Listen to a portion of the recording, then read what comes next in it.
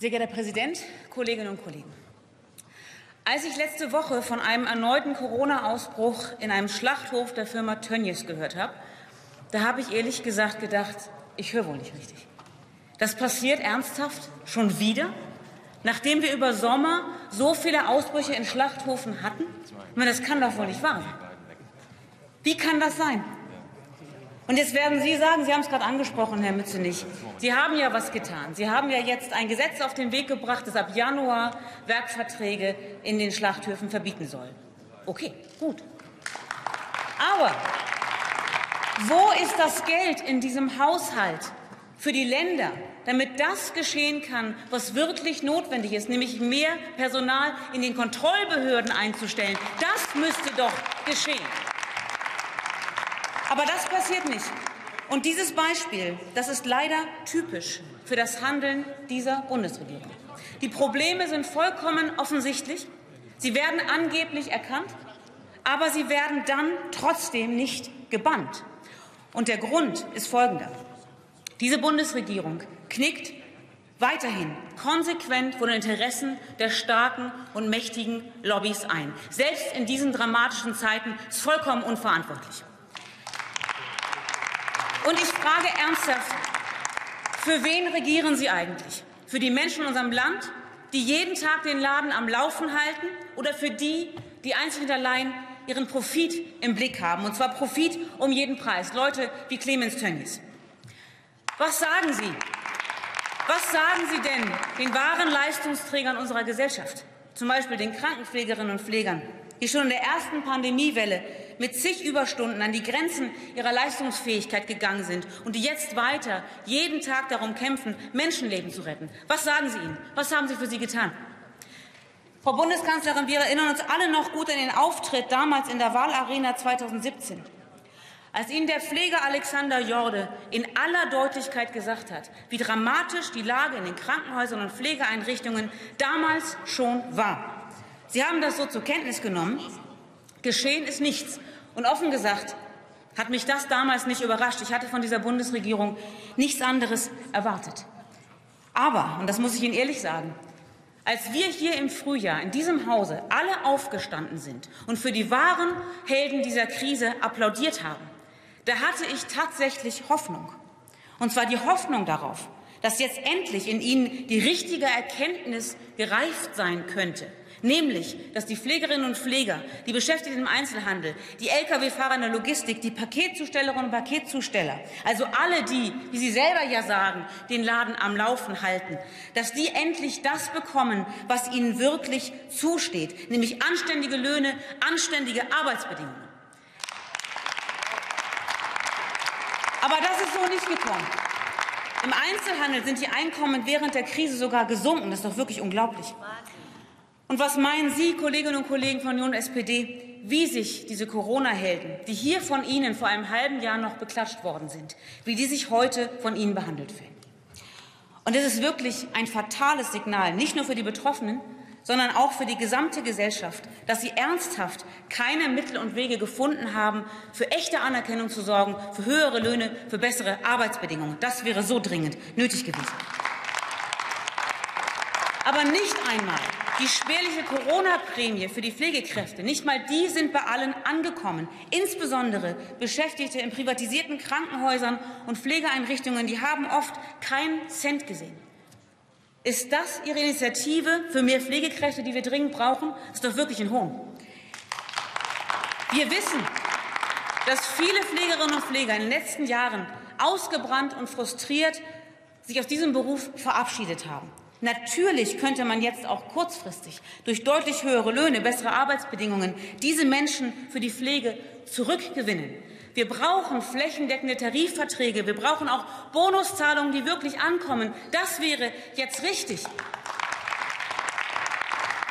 Und richtig wäre auch, endlich zu erkennen, dass Ihr Privatisierungskurs im Gesundheitswesen, dass das ein Irrweg ist.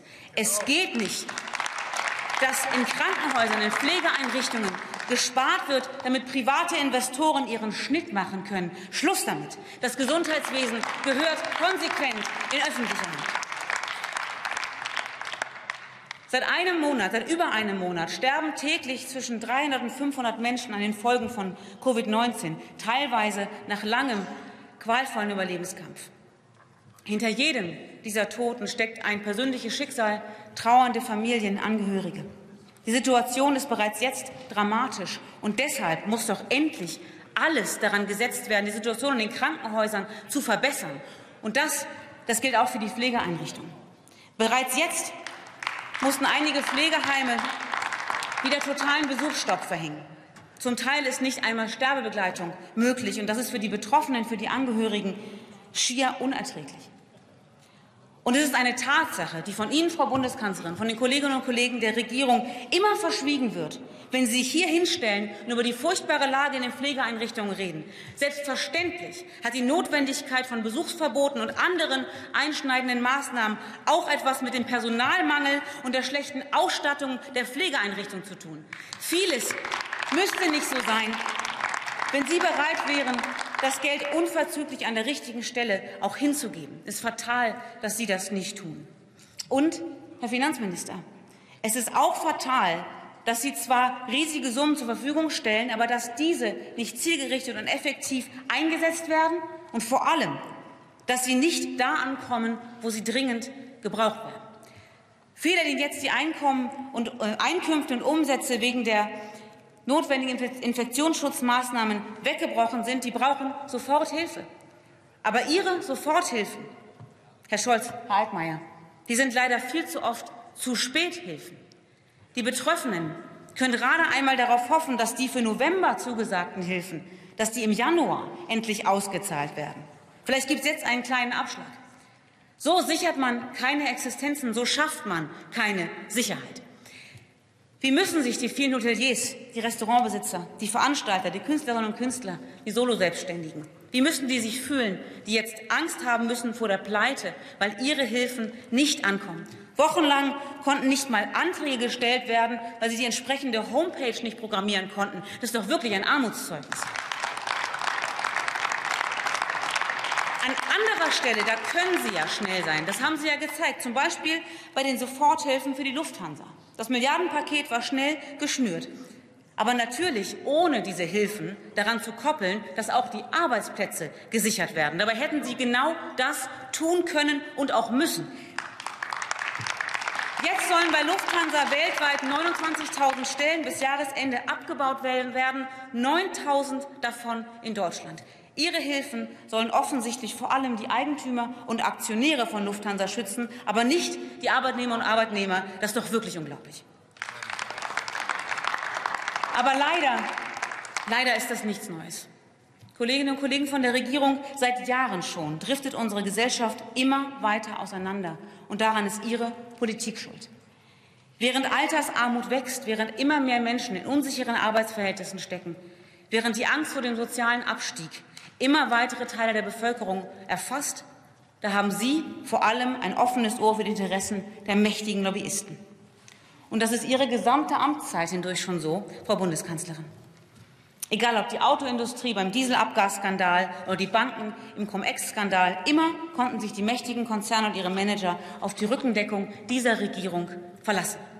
Und diejenigen, die eigentlich ihre Unterstützung bräuchten, zum Beispiel die vielen Millionen Menschen, die zum Mindestlohn arbeiten müssen, die speisen sie bestenfalls mit Brotkrumen ab.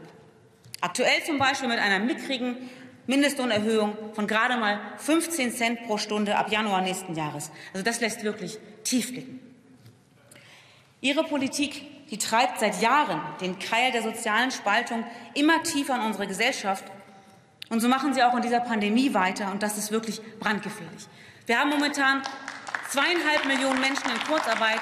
Die Tendenz ist steigend. Für viele reicht das Kurzarbeitergeld eben nicht zum Leben aus oder um den Lebensstandard zu sichern.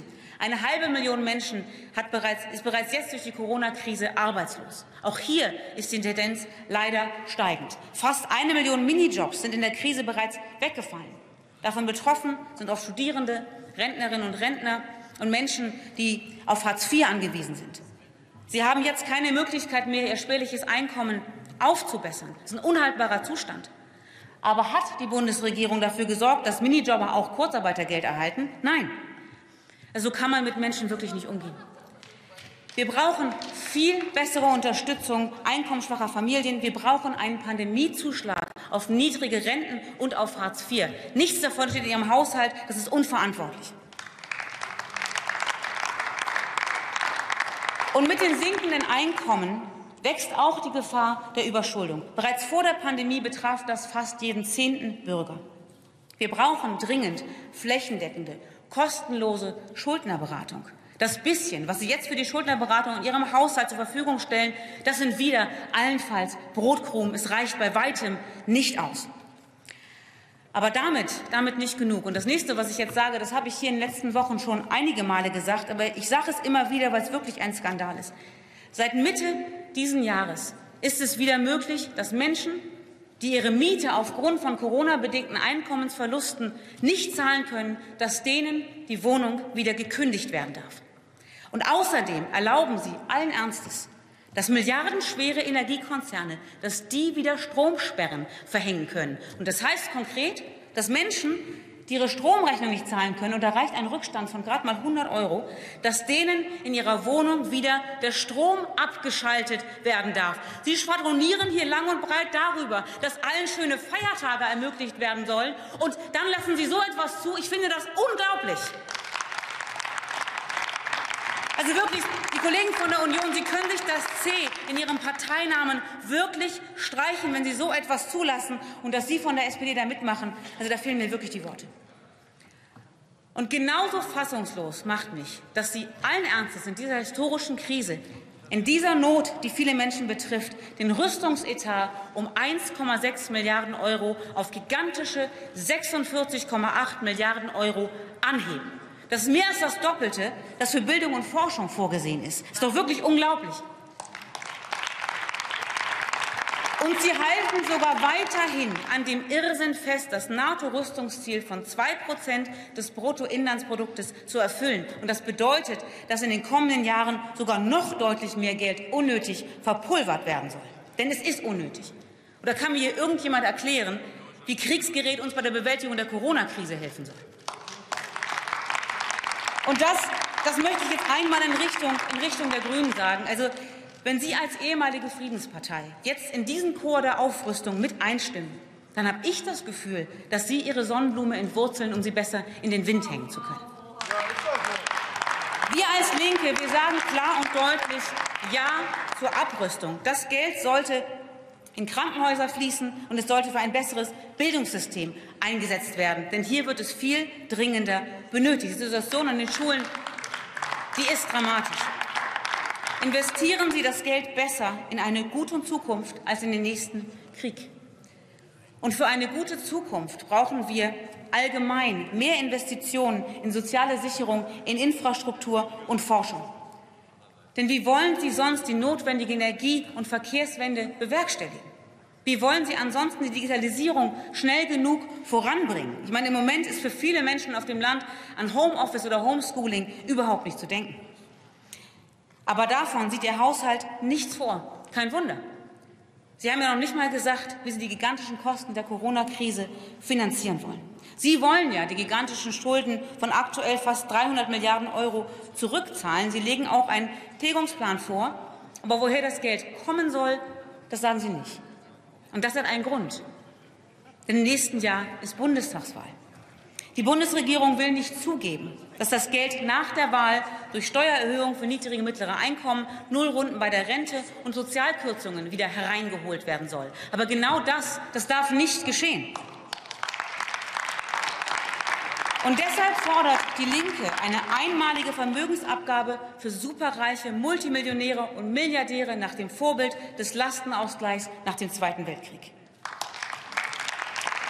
Das Deutsche Institut für Wirtschaftsforschung hat für uns Linksfraktion errechnet, dass eine solche Abgabe machbar ist und schon eine sehr moderate Form, die gerade einmal die reichsten 0,7 Prozent der Bevölkerung überhaupt belasten würden, die würden dreistellige Milliardenbeträge einbringen.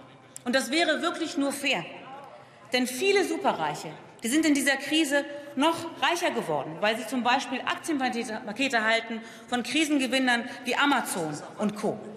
Außerdem ist es wirklich nur recht und billig, wenn diesmal endlich diejenigen zur Kasse gebeten werden, die jahrelang insbesondere durch ihre Steuergesetzgebung privilegiert worden sind. Wenn wir gut durch diese Krise kommen und gestärkt aus ihr hervorgehen wollen, dann brauchen wir endlich vernünftige Politik, die sich nicht von den Interessen der mächtigsten Lobbyisten instrumentalisieren lässt. Wir als Linke kämpfen weiter für einen echten Politikwechsel, damit die Folgen der Pandemie unsere Gesellschaft nicht weiter spalten. Dankeschön.